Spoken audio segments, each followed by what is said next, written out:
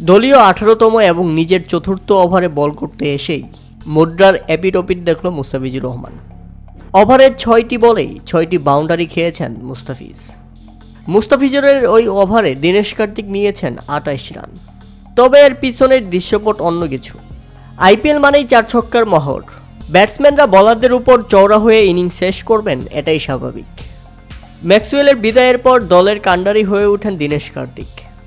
তবে নিজের ব্যক্তিগত পাঁচ রানের মধ্যেই জীবন ফিরে পেয়েছিলেন এই ব্যাটসম্যান।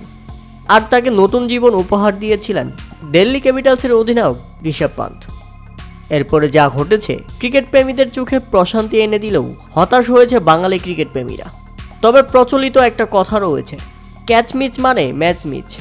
সেটি আরও একবার প্রমাণ হলো আজকের ম্যাচে, যেখানে ঋষভ পান্ত সহজ ক্যাচ মিস করায় দিন শেষে জয়ের নায়ক দীনেশ কার্তিক আর দিন শেষে ভিলেন মোস্তাফিজুর রহমান।